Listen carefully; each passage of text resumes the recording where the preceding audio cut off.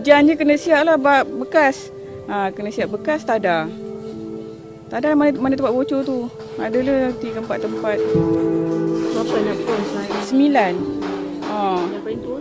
Yang paling tua sembilan belas. Masuk sembilan belas ni. Ha. Paling kecil? Paling kecil dua, uh, masuk dua tahun ni. Uh, uh, itu sindrom yang nombor sembilan, sindrom down. Okay, anak saya OKU empat orang. Ha.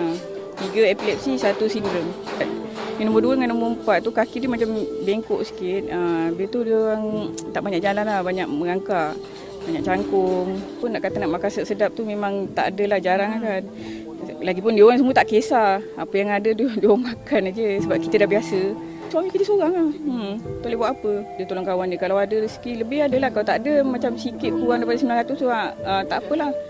Kita bergantung pada rezeki. Hmm. Mak Im pun akan ada bantu apa bantuan bulanan tu okay, Alhamdulillah lah. Bolehlah beli sikit. Tak ada pun tambah-tambah. Cuma kita kita risau pampers ada orang banyak pakai pampers kan. Ha.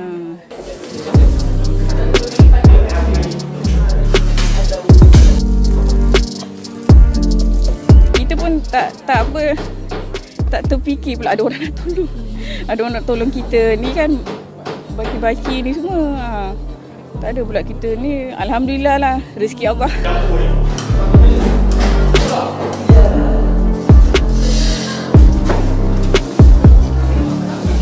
Duduk boleh tapi banyaklah yang bocor dan yang rosak-rosak tu. Ha, jadi pakcik pun tak mampu nak baiki. Jadi sebab anak saya tu dia ada anak dia tiga ni kurang upaya.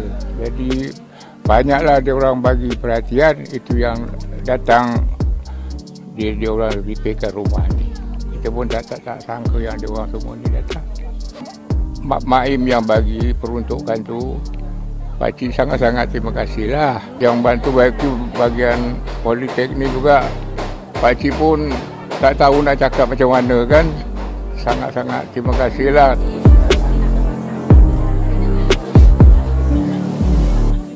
Kita mengadakan konferensi besar politeknik bersama dengan Majlis Hakim Melaka untuk, untuk makluman, kita hantar pelajar kami sebagai pelajar TVET ke terminal Waiki semula rumah yang sedia ada.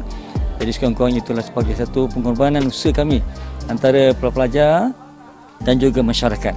Bahawa sumbangan ini adalah sumbangan daripada 80% daripada pihak MAIM sendiri dan 20% sumbangan daripada warga Politeknik Melaka. Jadi atas usaha sebenarnya kami sendiri pihak Politeknik Melaka memang sentiasa menggalakkan atas usaha murni membantu masyarakat selama tiga hari. Iaitu bermula pada uh, tiga hari yang lepas. Jadi harapnya puncak yang penyerahan pada hari ini kita dapatlah menjamkan semampu yang boleh. Jadi sekurang-kurangnya tidak banyak pun sedikit yang kita boleh salurkan sumbangan buat mereka ni.